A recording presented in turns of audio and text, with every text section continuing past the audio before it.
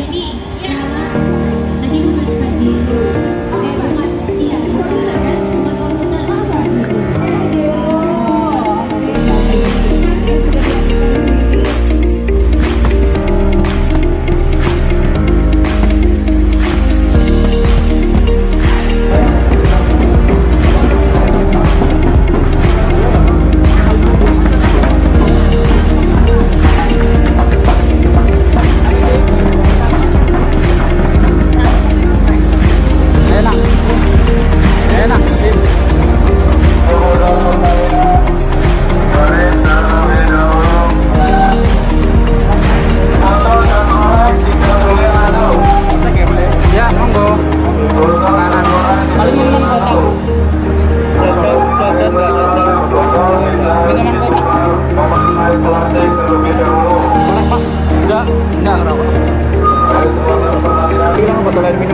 orang kota kan mesti periksa nih Budi